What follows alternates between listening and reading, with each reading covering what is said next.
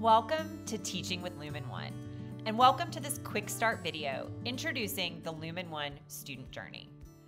By teaching with Lumen One, you're joining us in our collective mission to eliminate race and income as predictors of student success. To understand how courseware might support that goal, we've been talking to students across the country. Students at minority serving institutions, first generation students, students from low income communities, we've heard about just how much they're juggling, about what it feels like to feel called out when they just need to catch up, about the difference that a caring professor who sees them and supports them can make, and about how much they want a flexible, organized learning environment. Their words, combined with Lumen's framework for evidence based teaching practices, a collection of what we know and research says supports student learning and belonging, became the foundation for Lumen One. Today, we're going to work through the key parts of the Lumen One experience through the eyes of students and the key milestones on their journey. And we're going to start at the beginning of the semester. Students told us in countless interviews how important it is that they feel seen and supported from the very first day. They want to sense that they have a caring professor who's going to understand and support their success. And that is where Introduce Yourself comes in. Your Lumen One course includes a student's Introduce Yourself assignment. When students open it, they'll be prompted to take a short survey. They can tell you their preferred name, how to pronounce it, or their preferred pronouns. Every survey is a little different from course to course, but each one is designed to help you understand the students who are taking your course, both as a whole and as individuals. And you can use the data from this survey to customize your communications or to help students feel seen and supported. The answers are available inside your Lumen Faculty Engagement Center. And because this is an assignment, you can actually add, you can adjust the points and you can add a due date.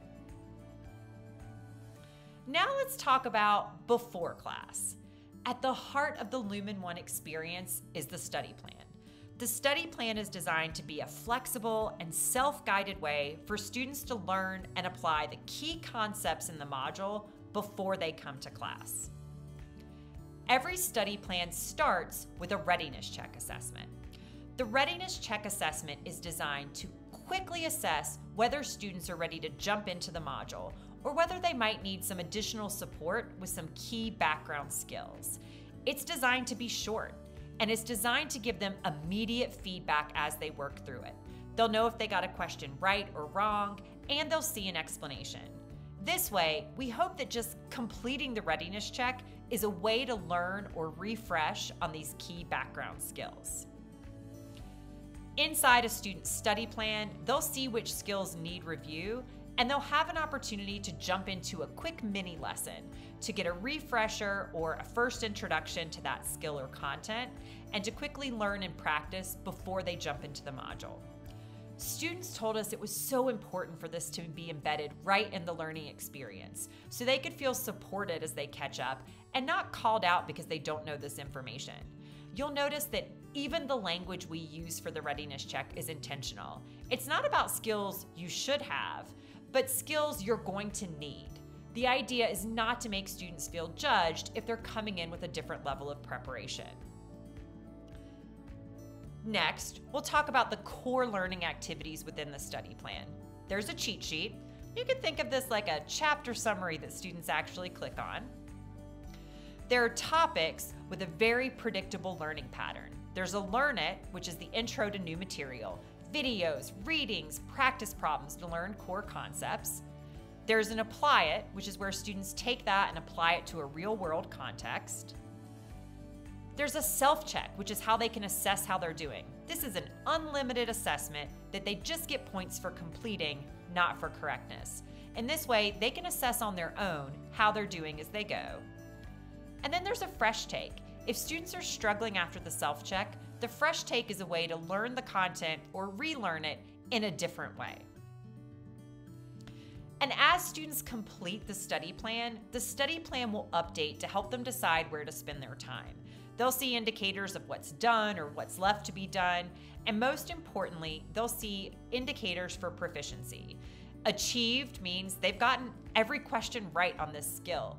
Needs review means they missed a few questions on these skills, and it would be worth spending more time in the topic. The idea is that students can choose to approach the study plan in the way that meets their needs and their time commitments, but we're nudging them in the direction of assessing their background knowledge, jumping into the content, assessing what they're learning, and then, if needed, learning it in another way. Now let's talk about during class. If students have completed all those activities before class, you can use your class time activity to review the topics they're struggling with using your engagement center data, or to facilitate guided active learning activities where they can reflect and engage on their own, or ideally, work with a partner or peers in their classroom. Inside your Lumen One Engagement Center, you'll find suggested lesson plans for these active learning activities. They also come with companion slide decks and built in activities and answer keys that you can use to actually guide those class time activities. Now let's talk about the quiz. Every Lumen 1 study plan includes a quiz with two attempts. It's the summative assessment for that module.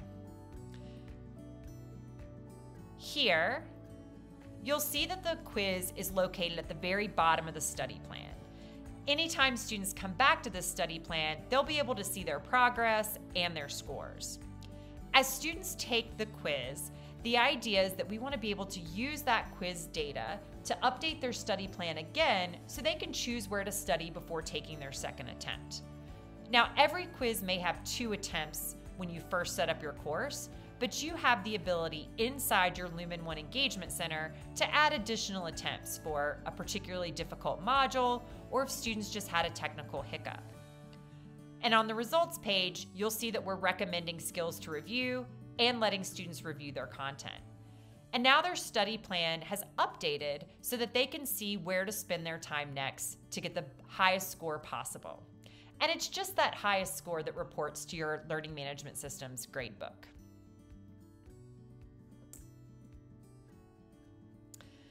In our future videos, we're going to talk about some of the embedded supports that you can leverage to support student success. But one thing we wanted to mention is our Lumen One student community. This is an embedded, moderated community. Here you'll see a learning page. If a student's reviewing this material, but they're still feeling confused, they'll see a call out at the bottom to visit the Lumen community. This is accessible to all students using Lumen One. Students can ask questions and Lumen moderators will provide answers. They can ask their own question and they can even ask it anonymously or just to a moderator.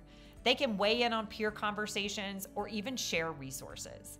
The idea is that students can get immediate help or seek additional help without having to leave the courseware. In our future sessions, we'll go into many of these features in more detail and also explore your Faculty Engagement Center. But for now, thank you for listening and thank you for teaching with Lumen One.